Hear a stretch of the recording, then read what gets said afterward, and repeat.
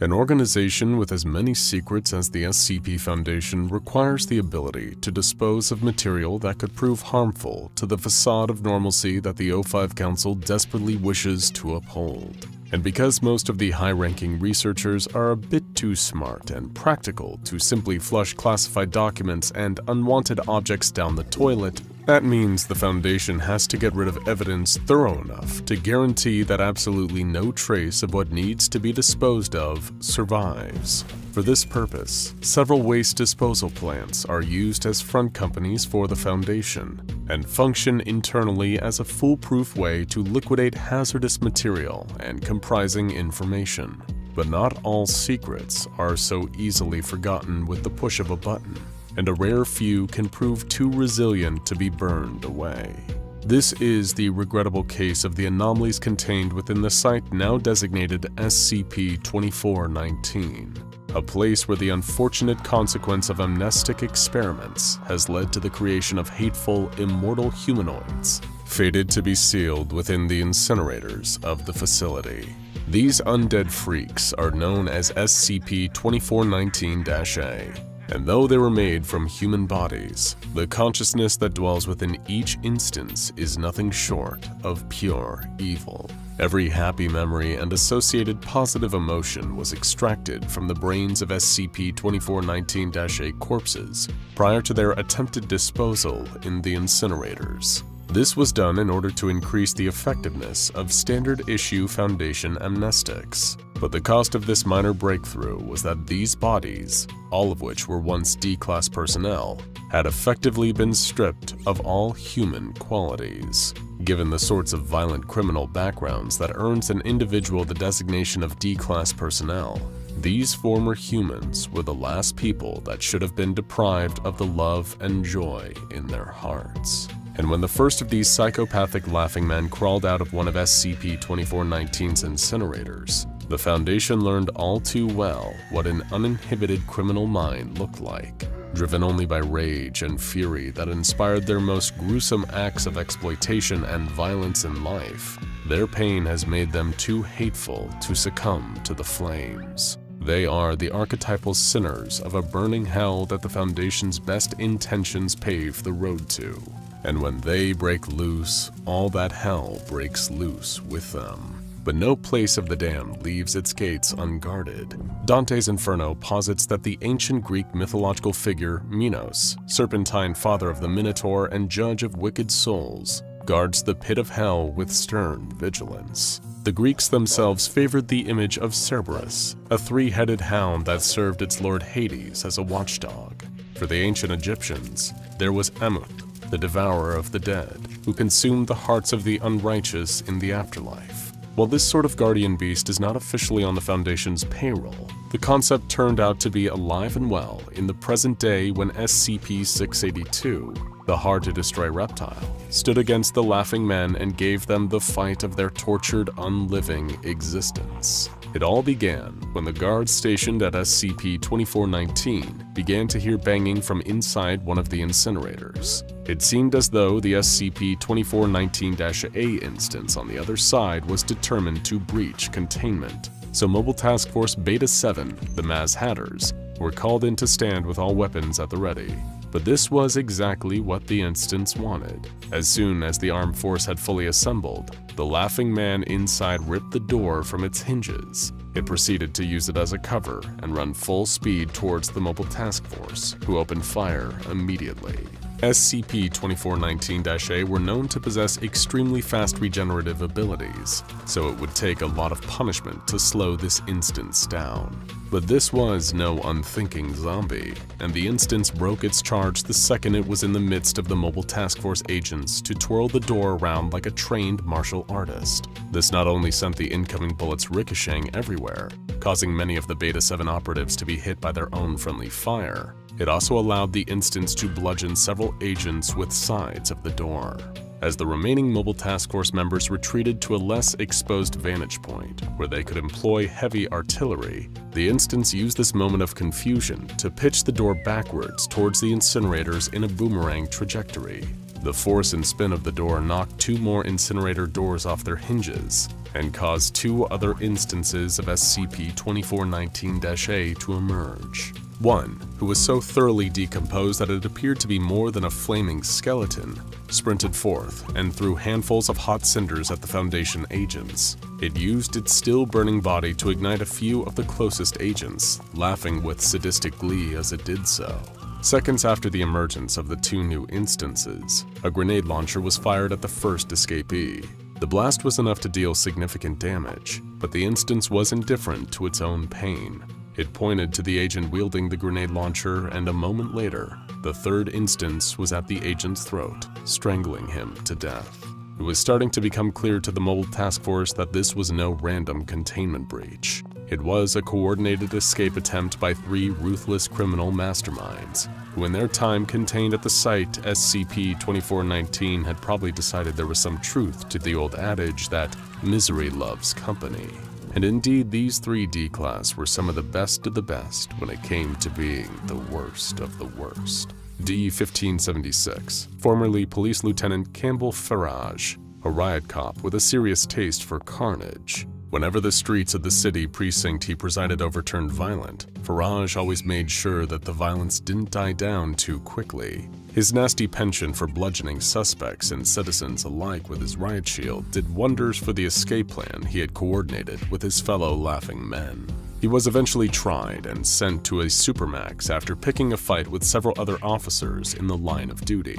A fight that resulted in a pair of rookie officers who opposed his violent methods being hospitalized with permanent comas. The skeleton was D-4483, Damien Lambert, a prolific arsonist who terrorized three counties while avoiding detection under the guise of being a sovereign citizen.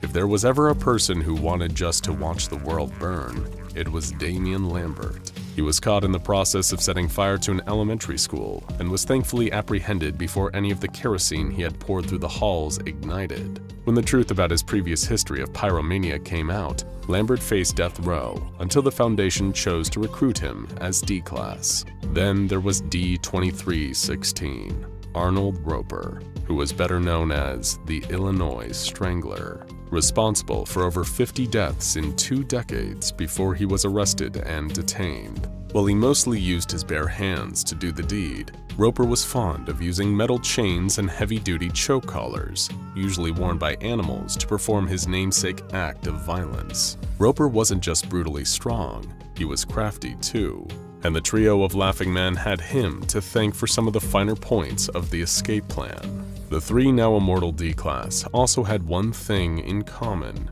Each of them had met the ends of their cruel and violent lives at the jaws and claws of SCP-682, and now that they had outmaneuvered and slaughtered Mobile Task Force Beta-7, their only collective goal was to get revenge on the monster that condemned them all to the fiery hell of the incinerator. The Laughing Men soon breached the limits of the SCP-2419 containment site and began making their way overland towards the facility where all of them had met their original fate. They knew they needed wheels to get there, so the instances made their way to the nearest gas station from the waste disposal plant they'd come from and made short work of the staff. Lambert stocked up on lighters, kerosene, and Duraflame, while Farage took the emergency shotgun that the cashier hadn't had time to fire. In her defense, it would have been difficult to accomplish much of anything with Roper's hands clasped around her throat.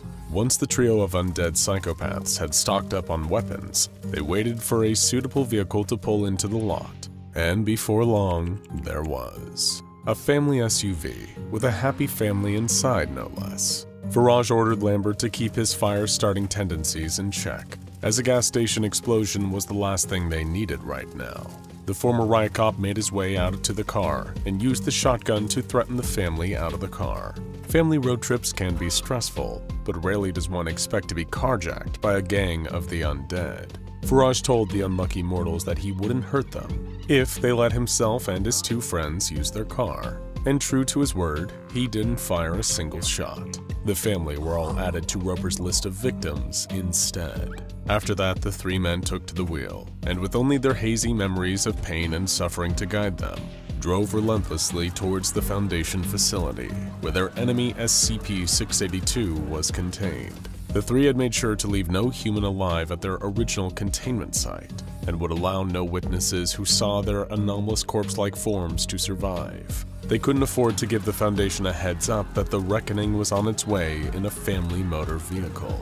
Meanwhile, at the Laughing Man's intended destination, SCP-682 was having another perfectly routine day of painfully soaking in a tank of corrosive acid. This was par for the course for the reptile, and it found itself as eager as anyone else stuck in a rut to get a break from the repetitive mundanity of containment. Little did the human-hating monster know, it would soon get its wish. A few hours later, the facility was shocked to find that several fires had been lit at the fringes of the testing units. These were no freak accidents, but rather the work of Damien Lambert. The arsonist still had memories of all the times he wished he could just burn his jailer's buildings to the ground, and had targeted the most vulnerable areas for combustion.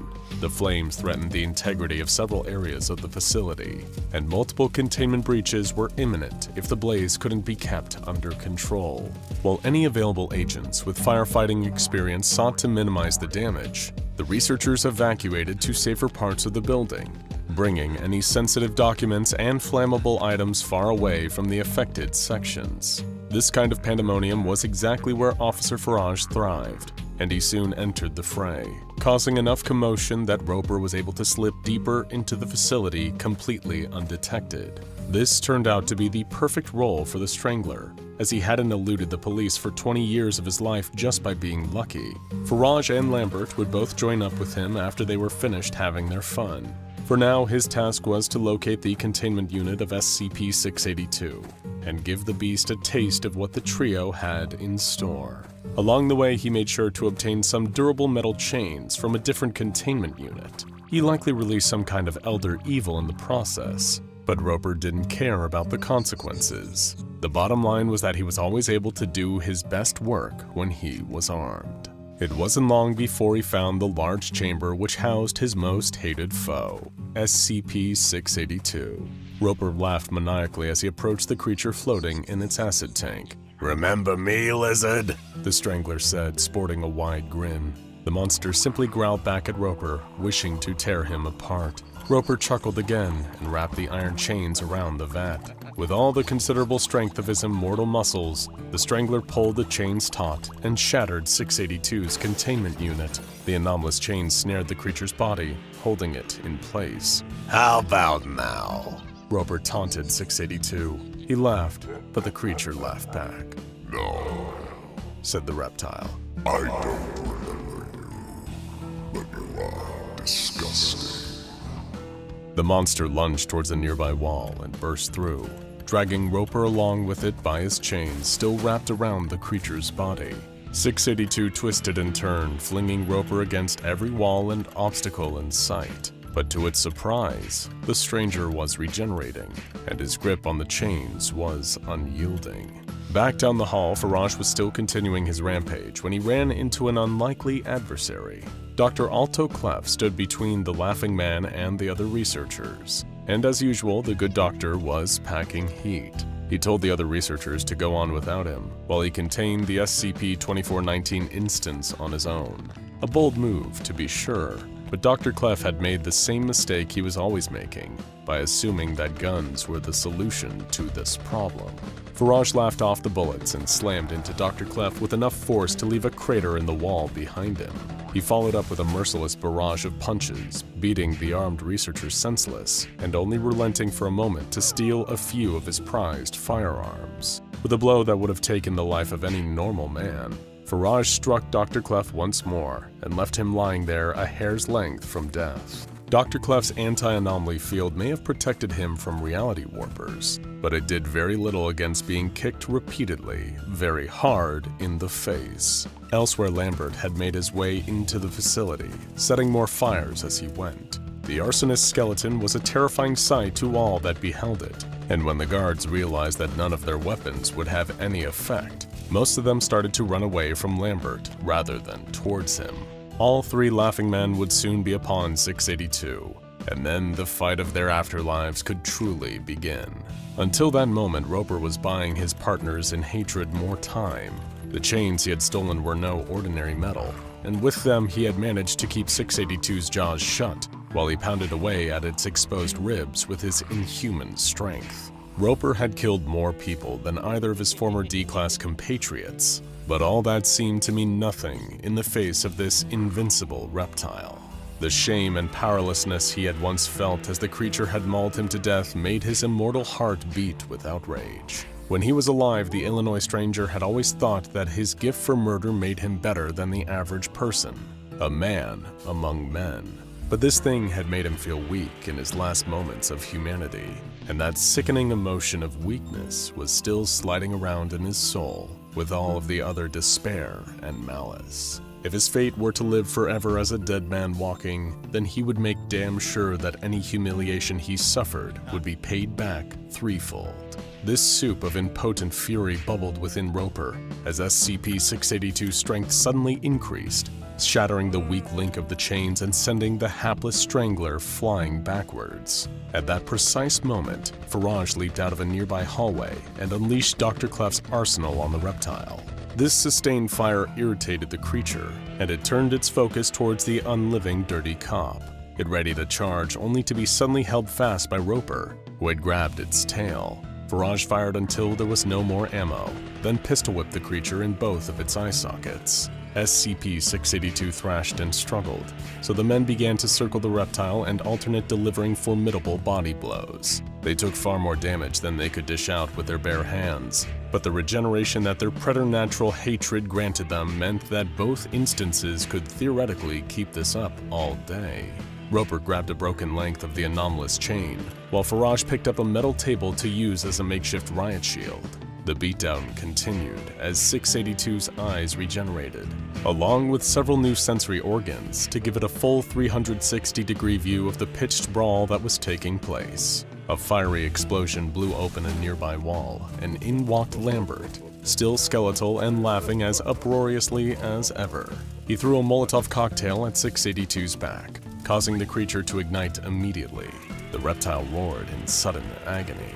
Farage, Lambert, Roper regrouped at the creature's flank and pushed together until they forced it back through the hole where the arsonist had entered from. They were now all together in the inferno, the three laughing men who refused to die, and the indestructible monster that made them into what they were. Roper quickly knotted the chains and wrapped them around one of the creature's claws, securing the other end around his waist. Like a trained boxer, he bobbed and weaved, pummeling the beast with all he had. Any step back from SCP-682 was met with the immortal man shifting his entire body weight to pull the creature's leg out from under it. Faraj wedged his shield into the creature's open jaw, widening it to an uncomfortable degree and temporarily limiting 682's bite force. He took out the shotgun that he had stolen from the gas station and blasted it down the reptile's gullet. When that plan had run its course, he started clubbing 682 about its neck and head with the butt of the shotgun. Lambert simply continued to douse the arena with more flammable material, especially himself and the creature. He climbed onto 682's back with his burning bones and hammered away at its defenses with literal fists of fire.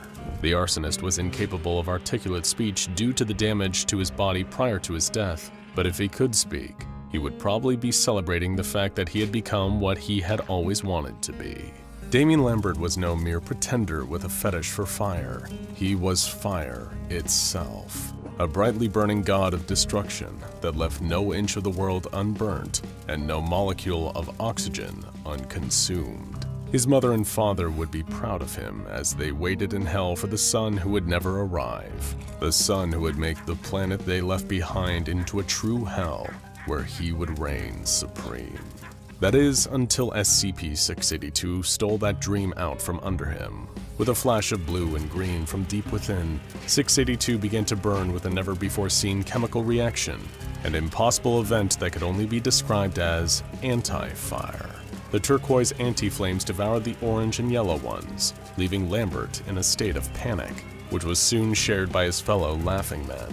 The three former D-classes had gotten so used to the torments of the incinerator that the idea that anything could be more painful had never occurred to them. And yet, here it was, the anti-fire, which devoured all flames and directly inflicted unimaginable suffering to the trio of instances. Every particle of their still regenerating bodies felt as if it were ice cold and melting into nothingness at the same time. Numbed and broken all over again, the Laughing Men were consumed all over by the anti-flames and fell into a state of suspended animation. With the Foundation finally getting everything back under control 24 hours later, SCP-682 was contained in a new acidic chamber. There were some new ordinances from all present and surviving researchers about exposing it to fire, as the anti-flames it produced were considered too hazardous to ever exist within the facility again. As for the three laughing men who had escaped from SCP-2419, they were returned to their containment units inside of the incinerators and never exhibited signs of aggression or escape attempts ever again. A psychological profile of Faraj, Lambert, and Roper that all of them could still feel the sting of the burns left by 682's anti-fire to this day, and that not even exposure to natural heat and fire could ever reduce that pain. Now go check out Could SCP-682 Be Contained in the Backrooms? An evil monster created by SCP Foundation SCP-2419 The Laughing Men for more of today's terrifying combatants in action.